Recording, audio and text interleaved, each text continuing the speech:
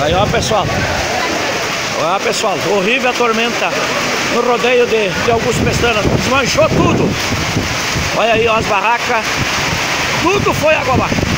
Terminou o rodeio, a tormenta. Horrível.